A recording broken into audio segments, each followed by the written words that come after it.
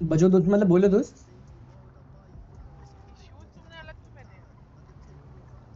अच्छा चलेगा ना। ब्लैक वाटर बोला था तो मुझे लगा ब्लैक, यही वाले बढ़िया बढ़िया लग रहा था।